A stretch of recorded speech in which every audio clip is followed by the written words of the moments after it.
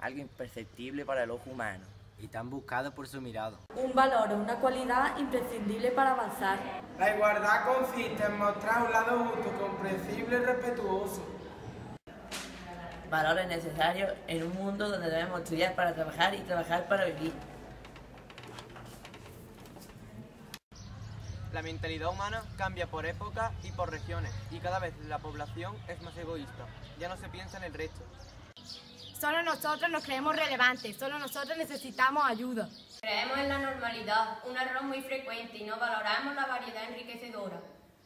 Esa tolerancia ante todos los rangos no comunes o no aceptados provoca desigualdades como el racismo, el machismo o la homofobia, problemas actuales que dejan en segundo plano el crecimiento de un mundo igualitario.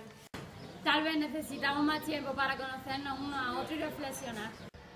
Algo tan necesario como la tecnología, que tanto ha hecho por hacer más cómoda nuestra vida, tiene una contrapartida que resta mucho tiempo a la población, que utiliza estos instrumentos en la mayoría de su tiempo. Esas horas que le dedicamos son las que en la antigüedad hombres y mujeres utilizaban para medicar o interactuar con otras personas, cambiando su punto de vista. Tan cierto es que en la antigüedad siempre hubo problemas entre raza, sexo u orientación sexual. Como cierto es que le llevamos varios siglos de ventaja y conocemos su historia que intentamos no repetir.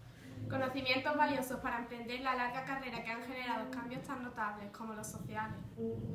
Cambios beneficiosos para todas las partes. Que crearán un ambiente pacífico, respetuoso. Un planeta que debemos alimentar de buenas personas, que eliminen la ira y el egoísmo. Un beneficio común necesario para eliminar las guerras, en las que quieren ganar poder o territorio las personas que la llevan a cabo, a costa de muertes sin fin. Algo que con la igualdad podríamos frenar si entendemos que todos estamos al mismo nivel, todos somos más participativos y más emprendedores. Con una sociedad igualitaria todo mejoraría.